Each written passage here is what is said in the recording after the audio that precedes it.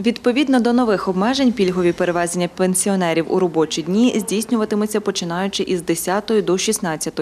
До 10 ранку і після 16 необхідно платити за проїзд у тролейбусі. У вихідні та святкові дні за посвідченням можна їздити без часових обмежень. Пенсіонерка Ніна чекає 10 години, аби їхати у тролейбусі за посвідченням. Тролейбуси ходять. Ну я не сідаю, бо я безплатно поїду після 10. Мені все одно. Надо, я сіла, почекала, надо, я поїхала.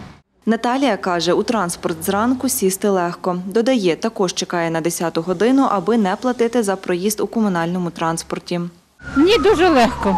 З 10 часов утра по посвідченню, а так платити треба. Кондукторка тролейбуса Світлана розповідає, транспорт зранку не переповнений. Все добре, люди розуміють, які розуміють і платять.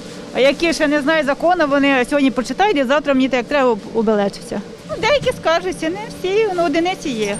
Відповідно до додаткових карантинних обмежень заборонили і роботу непродовольчих магазинів та торгових центрів. Працювати дозволено лише онлайн та на виніс. Продавчиня Неля розказала, як працюють в нових обмеженнях. Сьогодні ми працюємо у закритому відділі без клієнтів. В нас є інтернет-сторіночка. При бажанні можуть замовити. Ми можемо на виніс видати товар. Однозначно, при відкритому магазині набагато більше було продаж. Жінка зізнається, працювати у таких умовах важко. На жаль, е, поки про активність мова не йде, це перший день в таких умовах. Продає у нас у продажу дитячий одяг, е, жіночий одяг, також взуття. Дитячий, жіночий, чоловічий. Заборонений і прийом відвідувачів у кафе та ресторанах. Хмельницька рестораторка Олена Пенкаль каже, готові працювати на виніс та адресну доставку. Наш заклад е, дійсно має е, таку послугу, як на виніс, і, скажімо, зараз дуже багато людей і користуються цією послугою, тому що, перш за все, це зручно. По-друге, е, це завжди приємно, що ти не сам готовиш, скажу як жінка, а це можна замовити і привезти. Ну якось будемо з цієї ситуації знову вирішувати, думати, що робити далі.